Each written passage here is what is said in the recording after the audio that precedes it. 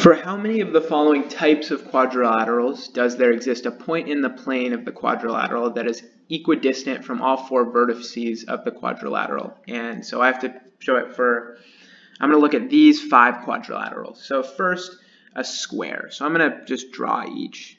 So a square, um, I think it's pretty clear that that middle point is equidistant to the four vertices for a square. So a square is going to, we can count that one.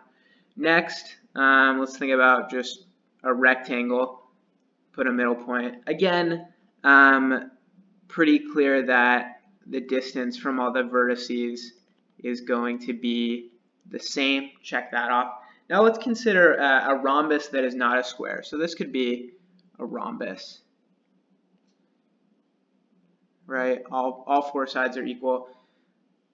Notice if I put it in the middle, um, that's definitely not going to be equidistant from all four vertices. And if I keep trying different points, definitely not that, not that, not that, not that. Um, I can't quite find, there's not going to be a point that's equidistant from all four vertices. Um, basically, if I can just find a counterexample, then I've showed that there's not going to exist a point in the plane for um, that given quadrilateral. Um, so rhombus, I'll label these.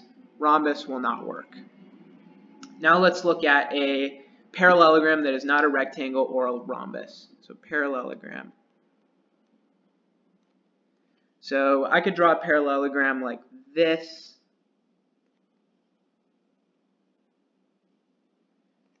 And again, um, actually maybe a better one would look like I did like this.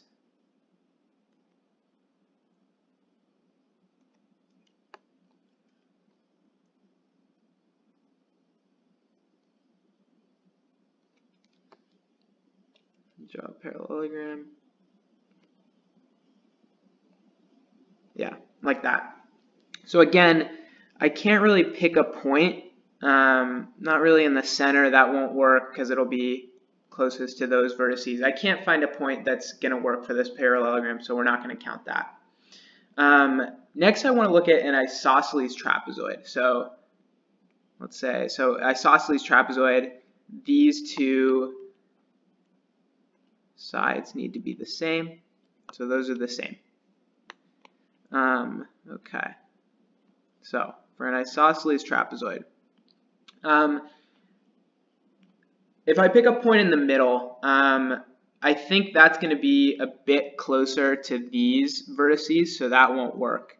Um, but I think there is maybe a way I could make this work. Something I want, something you can observe in the, the square and the rectangle is that that middle point is just where all the perpendicular bisectors meet.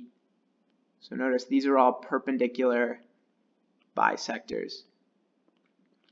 And that's going to be the same for the rectangle. So I'm wondering if I can just draw where the perpendicular bisectors meet, maybe that'll work. Um, so let's let's look at that. So perpendicular bisector of this side. So I'll draw it. It's going to look something like that.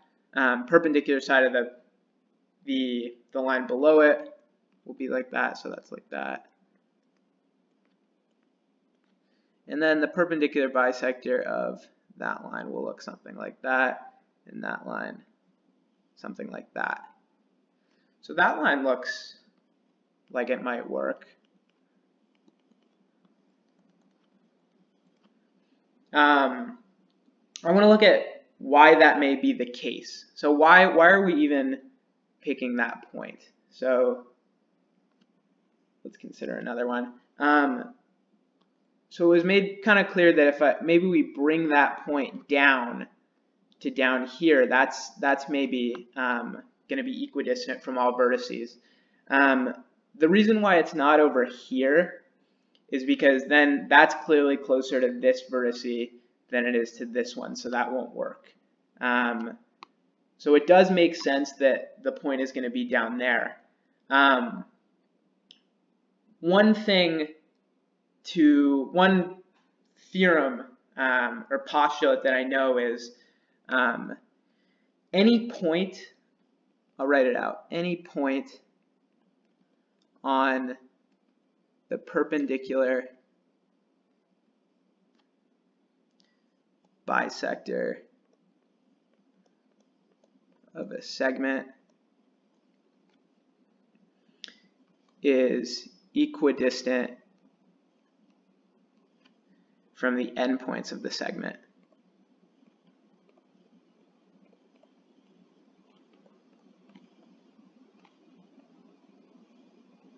So all that's saying is, if I draw a line, so equidistant from the endpoints of the segment. So all that's saying is these two are the same. And then the other bisector is right here. Um, so then all that's saying is then also those two are the same and then those two are the same. So basically if I say let's say that's A, B, C, and D and this is point O I know initially from this theorem that AO is congruent to BO. And then um, any point on the perpendicular bisector of a segment is equidistant from the endpoints of the segment. So again, I can it's clear that BO is then congruent to CO. And then it's clear that CO is congruent to DO by that theorem. Um, so I've just shown that the, the vertices are equidistant to that point O. Kind of a hand-wavy approach. Um, if you have a better solution, definitely reach out with that. But I thought this was the best way to think about this problem um, without really memorizing a ton of stuff. Um, yeah. So the answer should be, so finally we got the, the square works, the rectangle works, and then also the isosceles trapezoid works. So the answer's got to be 3.